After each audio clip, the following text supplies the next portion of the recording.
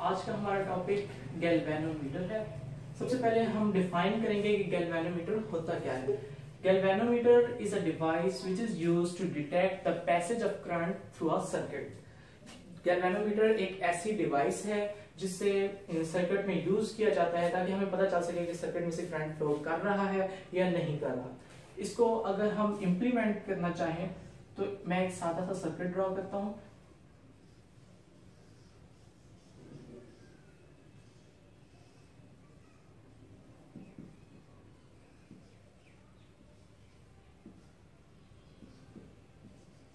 यहाँ मैंने एक सर्किट ड्रॉ कर दिया। यहाँ पे बैटरी लगा दी, यहाँ पे एक रेजिस्टर और यहाँ पे एक स्विच जो ही हम स्विच क्लोज करेंगे सर्किट में से करंट फ्लो करने लग जाएगा। लेकिन हमें ये कैसे पता चलेगा करंट फ्लो कर रहा है या नहीं कर रहा? इसलिए हम सर्किट में एक गैल्वेनोमीटर इंट्रोड्यूस कराते हैं। यही सर्किट मैं दोबारा बना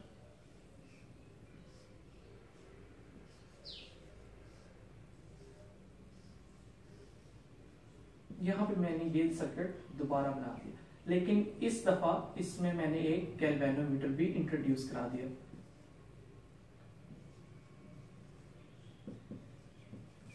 जब हम स्विच को क्लोज करेंगे तो सर्किट में से करंट कुछ इस तरह फ्लो करेगा।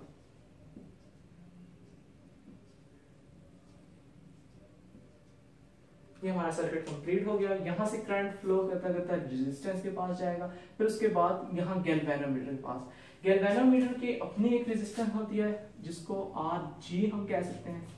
अब इस सर्किट में दो रेजिस्टेंस है। जब करंट फ्लो करता हुआ गैल्वेनोमीटर के पास जाएगा तो गैल्वेनोमीटर की नीडल हमें कुछ इस तरह से, पहले ये इस तरह होगी। यानी बिल्कुल ज़ीरो जो ही करंट फ्लो करेगा, या फिर जो ही हम स्विच क्लोज करेंगे, ये तो केस था स्विच ओपन जो ही हम स्विच क्लोज करेंगे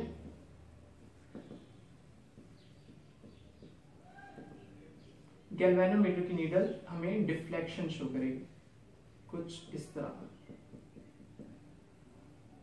पहले ये यहाँ ज़ीरो पे थी अब ज़ीरो से इस तरह इसने डिफ्लेक्शन शो की जो हमारे पास यहाँ पे हमें दिखाई दे रही है। तो इसका हमें हम्म, हम्म, यानी इसका हमें प्रिंसिपल अब चेक करना है कि ये किस प्रिंसिपल पे बात करती है। इसकी नीड तो हमें पता चल गई कि हम इसे इसलिए इस्तेमाल करते हैं ताकि सर्किट में हमें मालूम हो सके करंट कब फ्लो कर रहा है कब फ्लो नहीं कर रहा। गैल्वेनोमीटर कभी भी हमें ये नहीं बता सकता कि कितना करंट फ्लो कर रहा है, ये सिर्फ़ हमें यही बता सकता है कि करंट फ्लो कर रहा है या करंट फ्लो नहीं कर रहा। क्योंकि जब स्विच क्लोज होगा तो गैल्वेनोमीटर की नीडल डिफ्लेक्शन शो करेगी। जो ही हम स्विच ऑफ़ कर देंगे तो गैल्वेनोमीटर की नीडल दोबारा ज़ीरो पे, यानी इक्विलिब्रियम पोजीशन पे आ जाएगी। अब हम इसका वर्किंग प्रिंसिपल डिस्कस कर लेते हैं।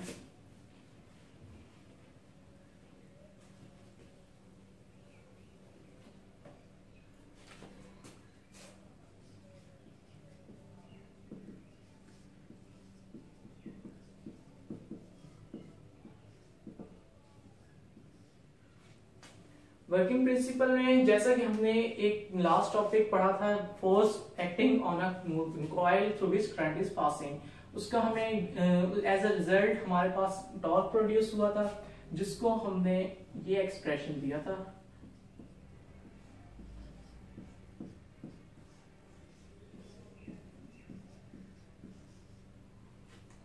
B for magnetic field, I for current, n for number of turns of coil and a for the area of coil. अब, हमारे पास ये एक्सप्रेशन भी आ गया। इसी, यही एक्सप्रेशन यूज़ होगा गैल्वेनोमीटर के अंदर, ताकि हम गैल्वेनोमीटर की नीडल की डिफ्लेक्शन देख सकें। क्योंकि इसकी नीडल किसी न किसी एंगल से डिफ्लेक्ट होती है। जैसा कि हमने यहाँ पे देखा, पहले ये नीडल ज़ीरो पे थी, उसके बाद ये नीडल यहाँ पे। तो इसने कुछ ना कुछ एंगल इक्विलिब्रियम पोजीशन के साथ बनाया ये वो वाला एंगल होगा जो हम यहाँ पे डिस्कस करेंगे। उसके अलावा मैग्नेटिक फ़ील्ड करंट क्योंकि इसमें से पास कर रहा है, हमें इसको करंट भी देना होगा। यहाँ से इस तरह से एक पॉजिटिव टर्मिनल एक नेगेटिव करंट यहाँ पे आ गया। नंबर ऑफ़ टर्न्स वो उसी कॉइल के अंदर होंगे, जिस कॉइल में ये नीडल जिसके साथ लगी है, और एरिया भी उसी कॉइल का होगा।